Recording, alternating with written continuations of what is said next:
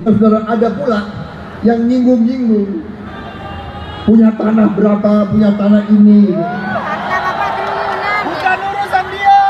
Calon Presiden nomor urut 2, Prabowo Subianto, membahas isu terkait tanah dalam debat Kapres tahun 2024.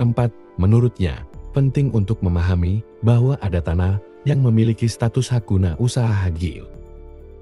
Menurut Prabowo, isu ini seharusnya tidak perlu dibahas secara mendalam dalam debat Kapres tahun 2024, terutama jika data yang disajikan tidak akurat. Prabowo menekankan bahwa pembicaraan seharusnya lebih fokus pada isu-isu yang lebih substansial dan relevan untuk kemajuan bangsa. Prabowo menyatakan bahwa tanah yang dimilikinya saat ini adalah tanah negara dengan status HJU. Dia menegaskan bahwa jika negara membutuhkan tanah tersebut, dia bersedia untuk menyerahkannya.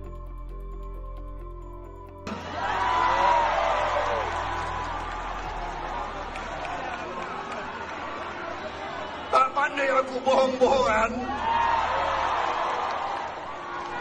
Tak pandai. Saudara ada pula yang nyinggung-nyinggung punya tanah berapa, punya tanah ini.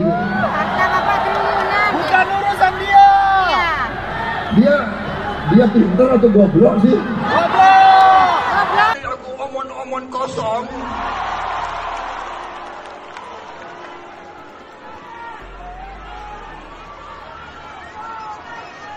Saya dari muda, saya pertaruhkan nyawa saya naik gunung turun gunung masuk rawa membela merah putih.